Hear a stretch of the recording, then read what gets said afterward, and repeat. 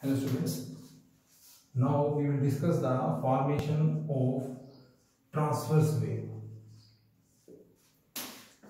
First of all, what is a transverse wave? In which the wave particles and medium particles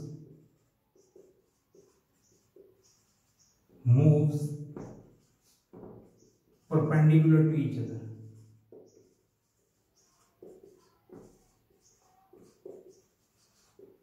Resulting in formation of crest and trough. अब इसमें भी क्या है? जैसे longitudinal wave में हमने formation किया था, इसमें हमने सिर्फ़ हॉरिजॉन्टल लाइंस लेनी है, उसमें हमने वर्टिकल लाइंस ली थी। तो इसमें भी वही same centre line should be taken as complete dark line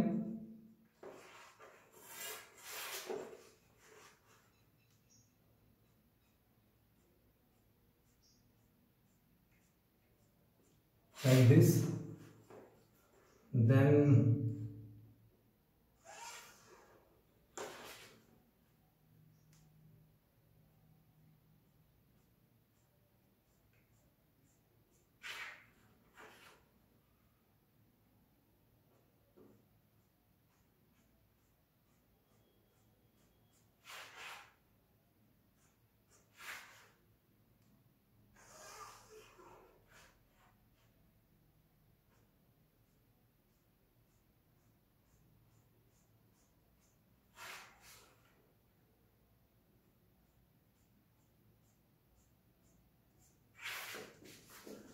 इसमें भी हम जो है ना, पाँच पार्टिकल्स ही लेंगे। और यही बात दोबारा से कि जो कंप्लीट लाइन है वो मीन पॉइंट मीन पोजीशन को रिप्रेजेंट करेगी। और जो डॉटेड लाइन है वो आपकी एक्सट्रीम पोजीशन को रिप्रेजेंट करेगी। तो therefore I am making four five complete lines and on the upper side and the on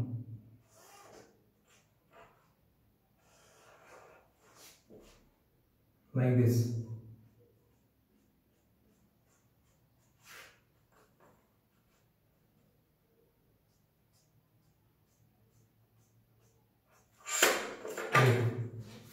फिर मेंशन कर देते हैं विदाउट वेस्टिंग टाइम ये तो सब हम पहले कर चुके हैं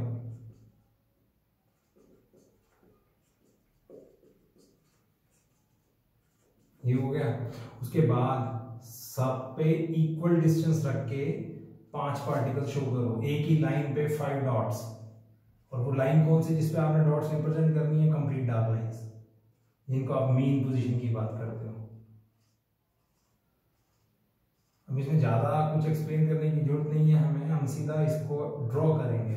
What happens at time period zero ये फ़र्स्ट पार्टिकल है, ये सेकंड पार्टिकल है, ये थर्ड ये फोर्थ और ये fifth first particle at time period zero gets disturb due to disturbance वो अपनी अपर एक्सट्रीम पे जाएगा। जब भी पार्टिकल एक्सट्रीम पे पहुँचता है तो डिस्टर्बेंस अगले पार्टिकल को देता है। तीसरे टाइम में क्या होगा? वो मीन पे आने की कोशिश करेगा। जो डिस्टर्ब हुआ, वो एक्सट्रीम पे पहुँच गया और उसने अपनी डिस्टर्बेंस नेक्स्ट को ट्रांसफ़र कर दी।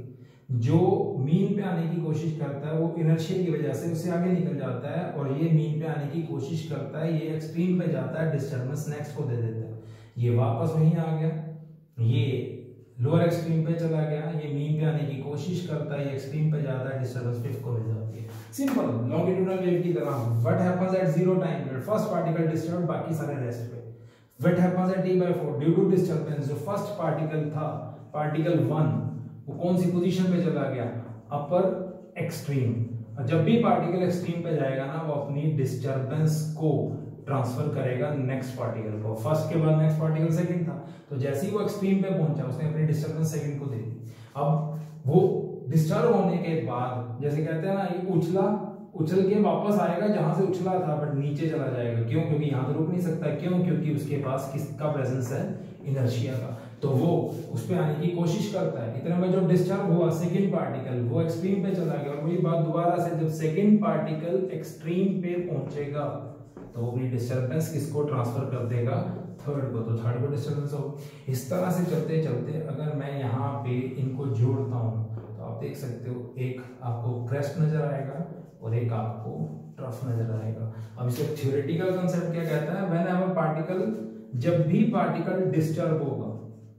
तो सबसे पहले अपनी मीन को छोड़कर कौन सी पोजीशन पे जाएगा? एक्सट्रीम पे।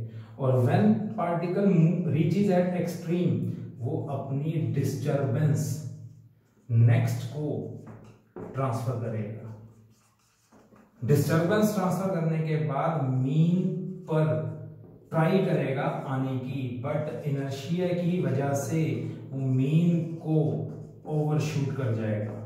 और उसके बाद फाइनली मीन पे आ जाएगा। This is the formation of transverse wave and उससे पहले आपने लॉन्गिट्यूडनल वेव पढ़ा this is all about wave